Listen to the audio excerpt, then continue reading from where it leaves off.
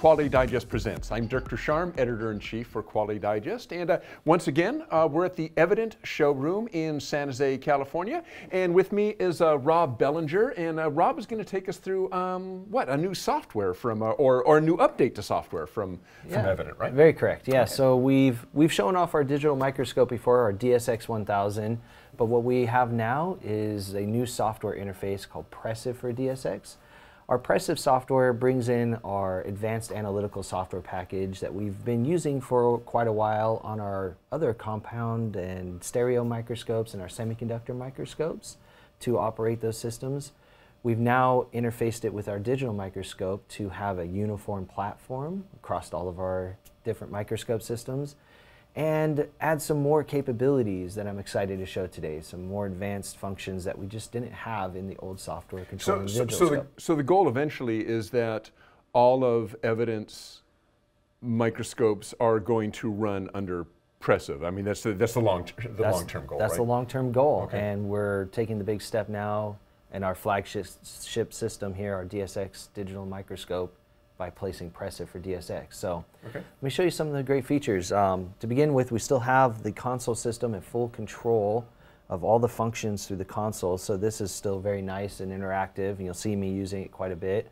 But the software layout has the new look and feel, that dark interface with the workflow through the center. You'll start an observation, do advanced acquisitions, working your way down to annotate the image, and all of your measurement tools are in here too.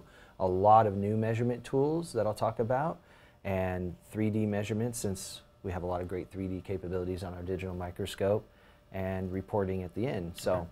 To start, we have kind of a low mag image, and I like to show off some of the power in the automation for the motorized stage with the digital microscope. So under acquisition, we have our panorama mode. On the left side here, it shows kind of a map image. This white area is just our entire stage travel right Okay. now.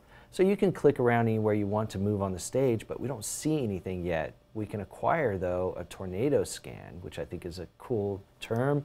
Just does a quick rounding scan area. Starting from the center. like And it wants us to go, the digital microscope can use all the way down to the 1x objective. So it's saying it, we could change out to the 1x or we could use what I have here is the 3x. But I can continue going with this 3x that I have on here now just by selecting no. And I can even swap this view over into my main window so I can kind of see it as it works. So it's just go, it, tornado because it's just kind of going in a circle. circle around the center. Okay. So I gotcha. just let it go as long as I want. If I want to, I could let it go over the whole stage area, but I have a smaller chip on the sample, uh, on the surface of the stage now, so my sample isn't as big as the stage, so I'll let it continue across the top here. And there's a stop button at the top here for stopping your map acquisition. So I can stop it at this point, and then I can navigate on the stage anywhere I want. If I want to go back to this location here, I just click and it'll move back. And I can swap this image back and see my live image again. So this is exactly where I'm at on this map image over here. So it's interactive. Along with the map image, you can set up your stitching very easily from here. Rather than the operator having to use the joystick and driving to a top left corner and bottom right, Right, corner, right. which c- can still prompt them to do with this selection here, right, to find it by a stage. But since we have the map image, we can just draw right on the map image. And we can say we want a s- Okay. rectangular, circular, or what's really great is a polygonal area. If you have something that is a weird shape, you can actually Okay. trace around it, and it'll only capture the images over that area. So saving time. saving a uh, lot of time, okay. blocking out you need to stitch a donut or something. Right, right, right. But we can do a rectangle stitch real quick and define, maybe I want to do the whole top left corner of this. So I can define it right here just by drawing it. Let me bring this over so you see it again a little bigger. Okay. It defines the fields of view it needs for the area that I selected. And the operator just has to hit start. And it's going to go through and capture a quick 2D stitched image for Okay. us. With this low mag 3x, it has a lot of depth of focus anyway, so stitch is a high resolution, high quality stitch here now. You don't see any pattern misalignment or right. anything. It does a really uh, pattern uh, shift alignments with the overlay between Okay. the frames and everything. The software takes care of all that for you. So this is our 2D image stitched together, still completely measurable on. Um, beyond that, you can even set up to do a 3D stitch. And if you wanted all the three-dimensional data on here as well, by doing panorama and 3D, Okay. Um, we've already set up our top and bottom range here, but the user would just have to turn the live on and make sure they're set in their top and bottom range of The, the top and top, the, the, focus, the Z range. yeah, so, yeah, okay, and yeah. bottom of focus. Okay. But that's all they have to do. They'd hit start. It's going to move to the first frame, and the Z will automatically capture. So as the system's moving, it now captured that frame with all of the Z focus points. Okay. That Now you could needed. you could do this with a with a um, higher power objective, but it would just it might take longer for the depending on the field of view you're trying to capture. amount you're Uh, stitching just- together, okay, yeah. Gotcha. So I'll show that afterwards. We'll zoom in on a higher mag area, but I wanted to show the stitching with 3D. Okay. And it takes a few seconds to roll through this, but the user can switch to 3D view here. And Oh, okay. Ah, cool. we Okay. can close some of these windows down by airing it over, maximize our field of view, but you see all the height data was captured Right, with right. this as well. Now this was low mag, low resolution, so what an operator might want to do is come back to their observation, start their live image again, and go to a specific area of interest uh, by looking at their map image again if they want. They could zoom in and say, we want to look right here, something with some interest Okay. and they can change mag by sliding to the higher mag objective and the higher we also have optical zoom so if we want to magnify in further we can focus on the console here we can select the area that we want to mag to we can click to center we can even use the focus wheel on the mouse to change focus as well Okay. it's a lot of unique Yeah, yeah. tools, Okay. quick and easy to Yeah. access. But once the operator is here and they want to capture this higher resolution 3D image, they can just hit 3D acquisition on the console, Okay. or they can go back to the acquisition in the software and select 3D and capture it. So it's quick on the console though to zip through, capture all that height information from the lowest point of focus to the highest point, and everything shows in focus at the end, All right. and they can render that 3D image. Oh, and there it is. Okay. Yeah, and we have a second monitor, which is nice. We could drag our live image to the second monitor. You could drag the captured images over to the second monitor, but I know you guys aren't capturing both monitors. So on a single monitor, you can hit the full screen button on the console and render Okay. this 3D image in the full screen. You can have your live cool. image in the full screen as well. All right. But yeah, all the height data is there. And we can even show things by right clicking on it, show some of the settings in here. Maybe we want to see just the source layer. This is the raw height information plotted as it scanned through by contrast. And we can blend lookup tables, show high and low points by color. And I can even enable some shading to really see the texture. Right. Oh, that's nice. There's a lot of information that can Yeah, be yeah. determined from here. So this image, rotate, zoom in to exactly where you want it. You can save this picture. You can also create an animation. It can render a 3D rotation and save out as a video file to put in a really cool presentation. So as so you would, you create animation, then and then as you're moving it It'll- and rotating, it's recording it. It'll record. Okay, got yeah, it. So as I create, it'll save out as an AVI file, and maybe I want to do that real quick. Oh, was it named test also? test two. Save. So it'll render and rotate Uh, around. oh, okay, And I capture all those okay. frames in a video file for us All right. What a great thing to throw in a PowerPoint presentation, Yeah. right? Yeah. yeah, Really nice. So it'll rotate around and capture that information and create the entire video compressed together. And then you can just drop that into a uh, into a report. Yes. Okay. So now we have our video file out here, and it was saved out to the, uh, and you can drop it into your report, which goes out to PowerPoint, Excel, or Word. Okay. And now that we have this three-dimensional information and all the height data, the operators might want to do those 3D type measurements. So we can still plot line profiles anywhere we want over the surface. And you down here Okay. see the plotted line profile data. And we can come in here and do profile measurements. We can measure from high to low points. We could also measure from you know an edge to an edge to get a width between these two points based on the profile. Okay. But if I click down here, I can get this height information, minus a little over half of a millimeter, 567 microns. All right. All right. That's cool. This information can be sent out to Excel really easily, or if you save the image with the save buttons down here in the bottom right, it would save the image as a JPEG. It'll merge the measurement data to the image. And JPEG images save with the calibration data as well. Okay. Um, or you can send this all out to a report at this point, and we have a bunch of custom report templates for Word and Excel that have the image and the measurements. You could render the 3D image in the uh, report templates and stuff like that. Or send it out to a printer if you still had a printer. Right. So and you, you have a variety of 2D measurements, I'm assuming there too. Yeah, so the full analytical power Oh, sure, of okay. PRECiV, along with all the normal compound microscopes that don't do so much 3D, we have all of the 2D measurement tools now. So Right. All of this is brought into PRECiV where you can do arbitrary line measurements, area measurements of circles and polygons. You also have the ability to do edge detection. So if I was to measure an arbitrary line across you know, the opening here, it's doing edge detection to mark the edges Ah, here for me based on the contrast of that edge, the dark Okay. edges there. So I can measure a distance just as quick as that. Again, all these measurements, along with the 3D measurements, can go to Excel or to your report templates or to text files. Okay. You can also do linked objects. So we can create auxiliary points of a, where two lines cross and measure from that auxiliary point Gotcha. to a different measurement point by doing linked objects, maybe from a center of a circle. Right, I was going to say, yeah, yeah. So generated features or generated points and, and link. and uh, then measure link to them or link to measurements to each other with the linked objects Okay. tools. So that's all in the DSX, Repressive for DSX software that we just didn't have in the old software. We didn't have all these advanced uh, measurement tools.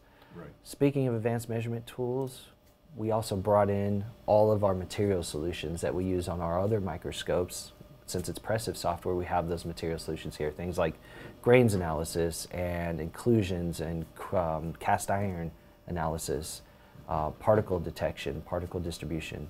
These are all piecemealed. Customers aren't going to need all of these. This is my demo unit, so it shows them all. But if the customer is doing a lot of particle distribution, maybe they want that and porosity measurement. Or some customers are like, we do inclusions and grains. They just have those Right. two.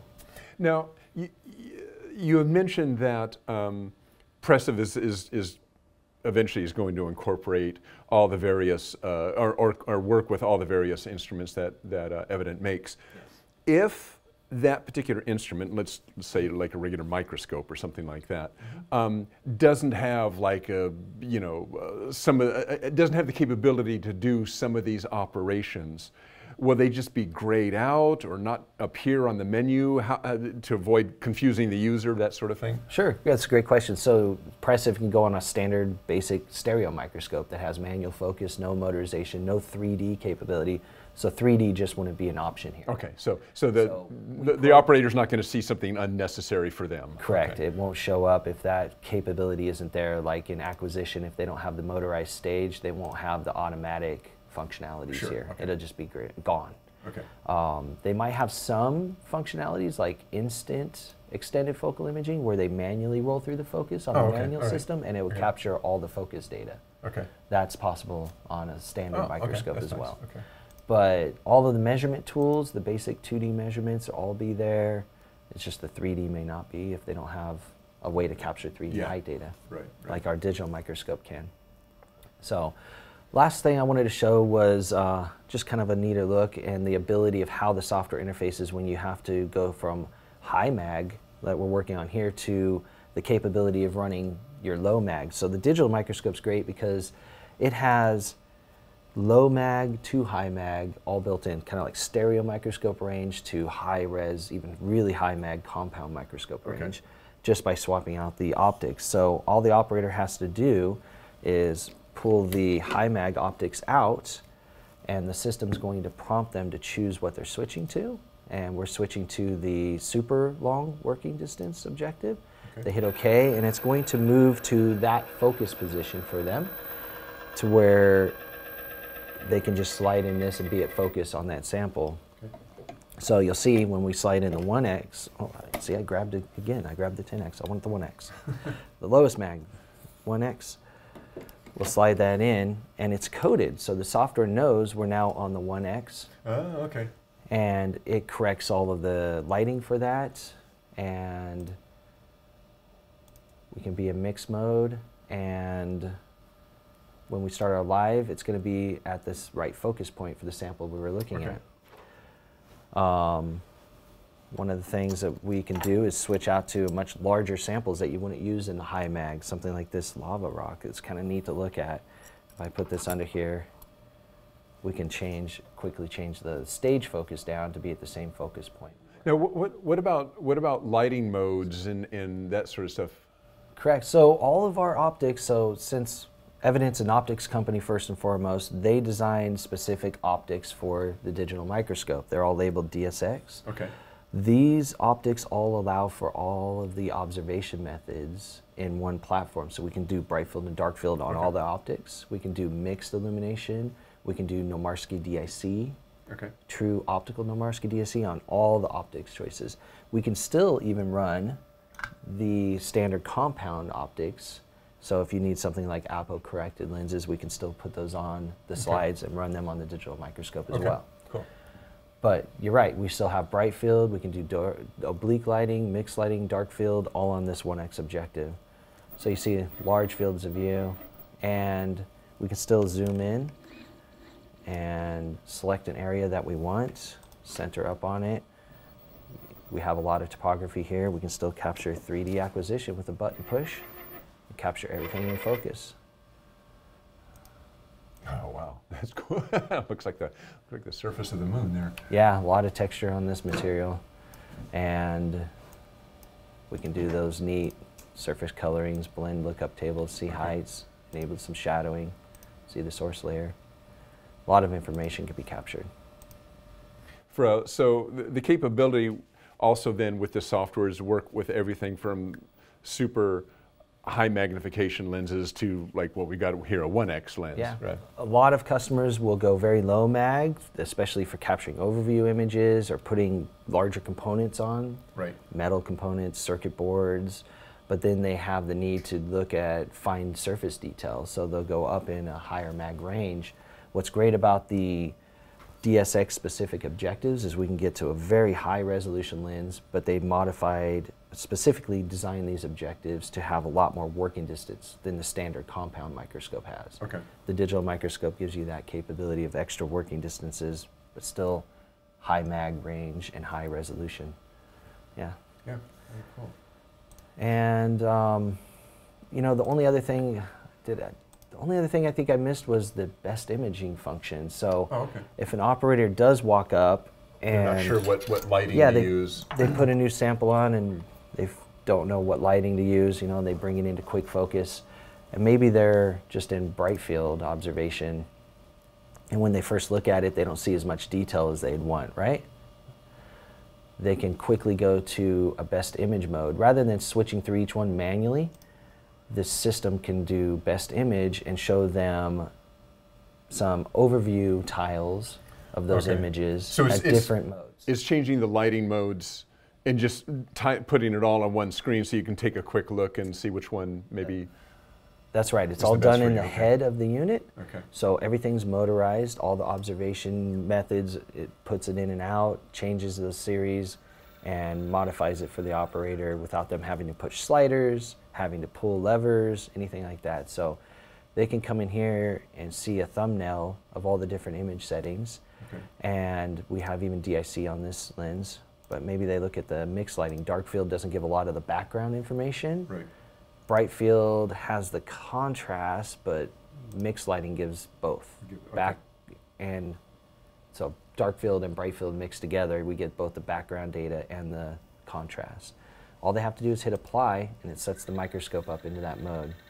Sets Okay. all of the parameters in the head, and shows them the live image with ready that to mode. go. Okay. And they're ready to move on and capture right. their 3D images, or stitching, and anything else. And what currently, what instruments or, or uh, uh, series of instruments are supported by PRECiV right now?